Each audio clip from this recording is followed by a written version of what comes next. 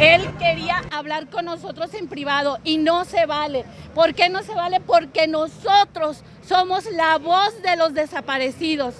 Nosotros hablamos por ellos, ellos nos dan la voz y yo creo que a este sacerdote le hace falta sensibilidad. Y pues las autoridades insensibles, como siempre, este es el segundo año que, que vengo a esta misa y siempre duele y me duele el alma, me duele todo y, y más al ver la reacción de todos los compañeros de, de mi hijo que tampoco se sensibilizan, creen que son inmunes.